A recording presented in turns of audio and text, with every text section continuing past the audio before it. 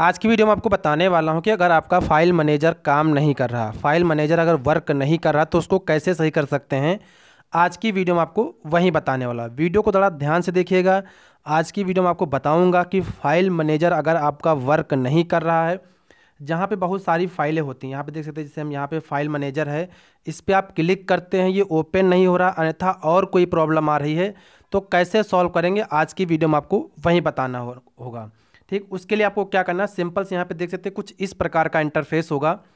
नीचे स्क्रॉल करेंगे स्क्रॉल करने के बाद एक ऑप्शन आपको सेटिंग का मिलेगा। सेटिंग वाले ऑप्शन पे आपको क्लिक करना है।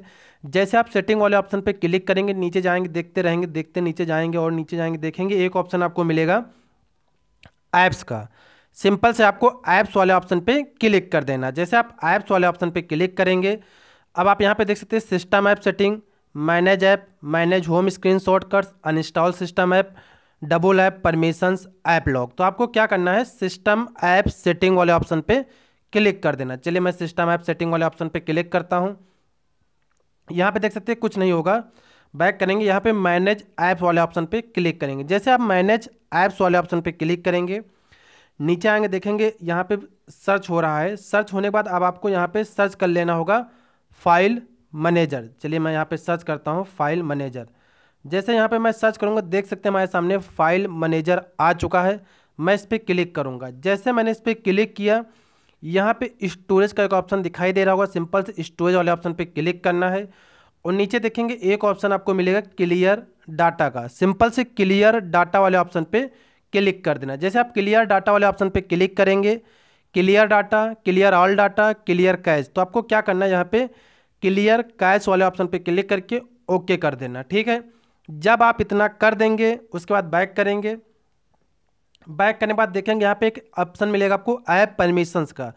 तो यहाँ पे फ़ाइल मैनेजर में फ़ाइल एंड मीडिया इस पर आप क्लिक करेंगे तो यहाँ पे डोंट अलाउ होगा तो आपको allow management of all files इस पर आपको क्लिक कर देना होगा। डोंट अलाउ रहेगा तो यहाँ पे आपका जो फ़ाइल मैनेजर है वो ओपन नहीं होगा। एकदम क्लियर मैं आपको बता रहा हूँ। अगर आपका यहाँ पे डोंट अलाउ है तो आपका यहाँ पे फ़ाइल मैनेजर ओपन नहीं होगा तो आपको allow management of all file पे कर लेना है। जैसे आप इस पर कर लेंगे, उसके बाद नीचे जाएँगे, देख सकते बैक करेंगे। बैक करने के बाद हम यहाँ से बैक करते हैं, और इसके बाद देख सकते हैं यहाँ पे एक ऑप्शन आपको मिलता है क्लियर ऑल डाटा अगर आपके में ज़्यादा प्रॉब्लम है, अगर आपका फ़ाइल मैनेजर ओपन ही नहीं हो रहा तो आपको क्या करना है क्लियर ऑल डाटा पे क्लिक करके ओके कर देना, ठीक? अब यहाँ से बैक करेंगे बैक करने के बाद अब हम यहाँ चलते हैं, देखते हैं फ़ाइल मैनेजर हमारा ओपन हो रहा है या नहीं हो रहा। नीचे हम यहाँ पे वो सर्च करते हैं फ़ाइल मैनेजर हमारा कहाँ गया? अब यहाँ पे देखेंगे फ़ाइल मैनेजर हम इस पर क्लिक करते हैं। जैसे मैंने इस पर क्लिक किया, यहाँ पे फिंगरप्रिंट लॉक लगाया। अब यहाँ पे देख सकते हैं, आपका फ़ाइल मैनेजर यहाँ पे एग्री एंड कंटिन्यू के ऑप्शन पे क्लिक करेंगे अलाउ करेंगे। अलाउ करने के बाद यहाँ पे देख सकते हैं new feature dark theme is available now अगर आप ट्राई करना चाहते हैं तो यहाँ पे ट्राई कर सकते हैं, वरना आप कैंसिल वाले ऑप्शन पे क्लिक कर देंगे। जैसे आप कैंसिल वाले ऑप्शन पे क्लिक करेंगे यहाँ पे फ़ाइल मैनेजर का ऑप्शन होगा, इस पर आपको क्लिक कर देना होगा। जैसे आप इस पर क्लिक करेंगे, यहाँ पे देख सकते हैं आपके जितने भी फ़ाइल में डॉक्यूमेंट जितना भी आपने सेव करके रखा था तो ये आपका ओपन होने लगा। अगर आपके मेरे दोस्तों फ़ाइल मैनेजर की प्रॉब्लम आ रही है तो कुछ इस प्रकार से उसको सॉल्व कर सकते हैं।